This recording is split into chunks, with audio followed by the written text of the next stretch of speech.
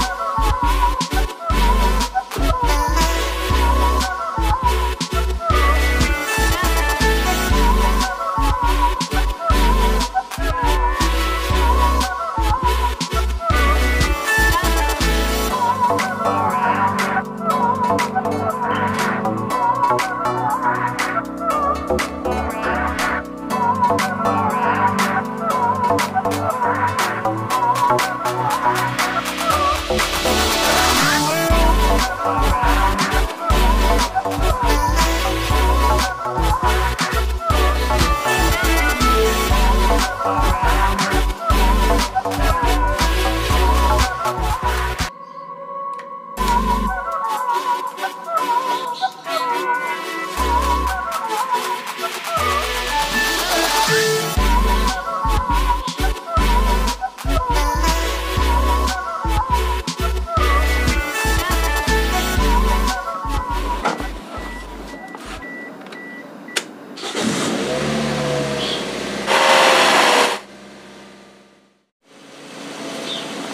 Halo guys, back to channel Aral Muhammad.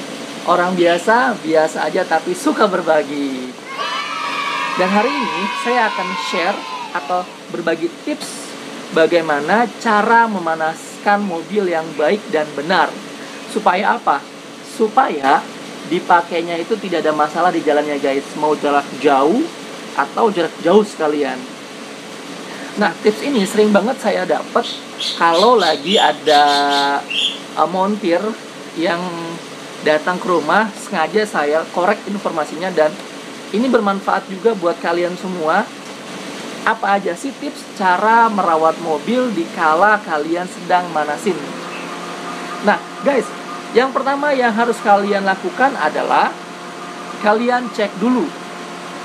Kalian buka bagasi mesinnya dulu cek di situ buka apakah uh, air radiatornya masih ada terus apakah akinya tercolok dengan baik supaya kelistrikannya itu normal? Apakah ada kabel-kabel yang putus?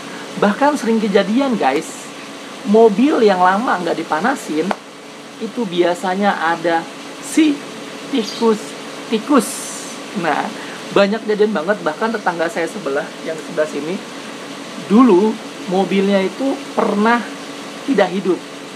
Wah panik dong kok nggak hidup mobil saya? Ternyata pas diselidiki mobilnya itu ada kabel kelistrikannya yang digigit oleh si tikus.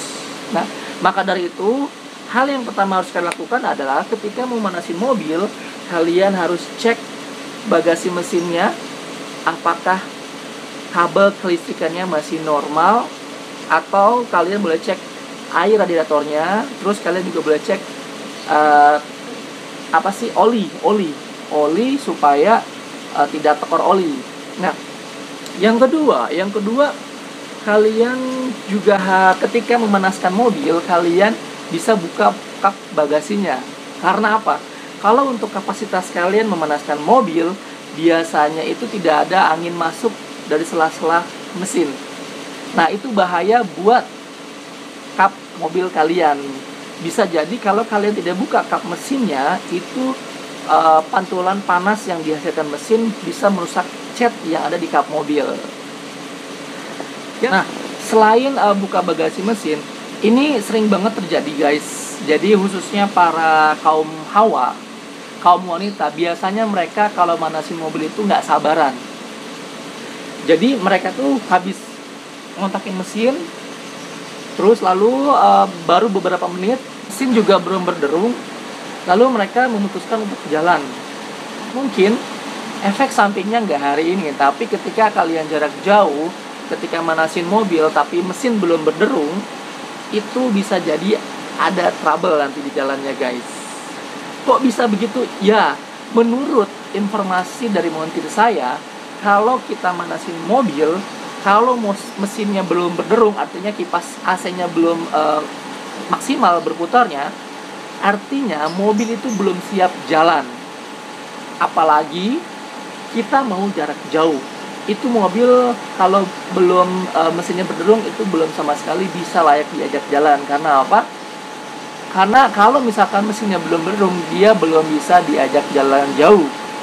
Tapi kalau mesin kalian ketika manasin mobil sudah berderung, artinya itu mobil sudah siap kalian gunakan untuk jarak jauh sekalipun. Nah, ini ini yang saya maksud. Mesinnya berderung. Artinya kipas uh, AC boy kipas AC yang ada di mesin mobil itu sedang berputar. Nah, kalian dengar kan? Nah, kalau mobil kalian sudah berderung mesinnya seperti itu, artinya mobil kalian siap dipakai jarak jauh sekalipun. Dan ini penting juga guys, untuk kalian yang sudah e, merasa mobilnya sudah panas dan tidak pergi ke mana-mana, kalian cek juga. Ini penting juga, e, kalau misalkan ada audio yang masih nyala, audio yang masih nyala, kalian bisa matiin dulu e, volumenya, baru di kalian matiin dan ini juga sering terjadi guys untuk kaum hawa juga nih jadi banyak banget kaum hawa itu kalau misalkan mereka habis dari mana habis dari mana perjalanan jauh bukan hanya sekedar manasin mobil dia lupa radio atau tips yang uh, masih berjalan langsung dimatiin mesinnya guys. Tak. Nah itu kalau kalian lakukan terus menerus artinya kalian tidak merawat mobil kalian dengan baik. Ada baiknya kalian itu sebelum matiin mobilnya paling nggak kecilin dulu volumenya lalu kalian bisa matiin. Oh ya guys ini uh, tips penting juga untuk kalian yang uh, baru saja pergi dan pulang ke rumah diusahakan jangan sekali-sekali kalian begini kan ya guys. Kalian derungkan mesinnya injak gas terus dimatiin. Nah itu nggak bagus guys. Kebayang kalau kalian bangun tidur terus kalian disuruh langsung lari-larian. Secara otomatis kalian juga kaget kan.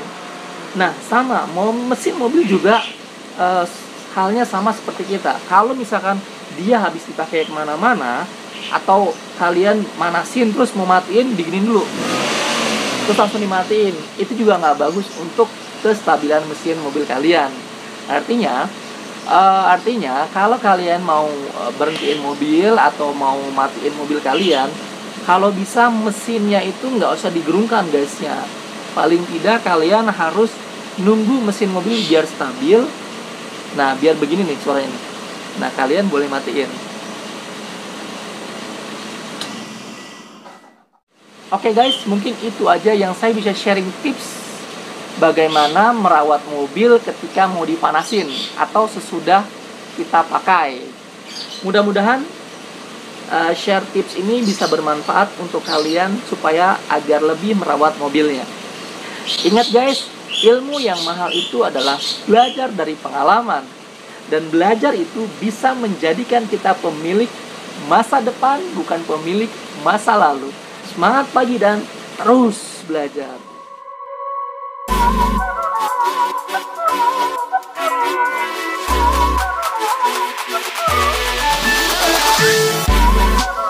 you.